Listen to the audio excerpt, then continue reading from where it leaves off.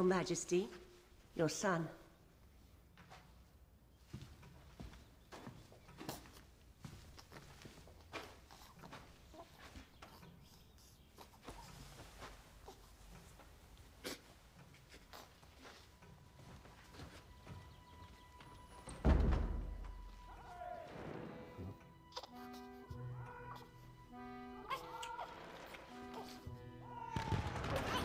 Oh, My you will